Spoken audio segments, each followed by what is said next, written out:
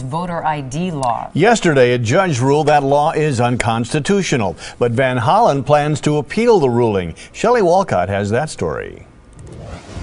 This is the second time that a judge has blocked the controversial law, pretty much ensuring that it will not be in place for the November elections.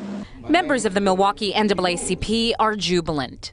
The right to vote is paramount. The Supreme Court has previously called it a sacred right. Tuesday, Dane County Judge David Flanagan permanently blocked the voter ID law. Last year, Republicans passed the bill requiring all Wisconsin voters show photo ID at the polls.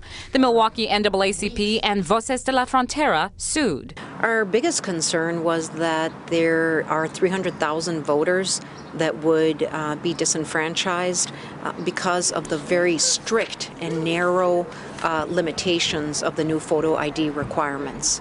But many people do support the law. You should have a driver's license, something to show that you're a United States citizen.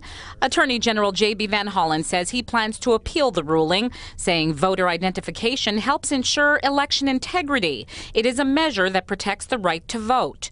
But Neumann-Ortiz says it's about voter suppression. I think it's a waste of taxpayer dollars. Uh, we saw that in the redistricting lawsuit. And again, the Attorney General says he plans to file an appeal, although it's not clear exactly when that will happen. On your side in Milwaukee, I'm Shelley Walcott, today's TMJ4.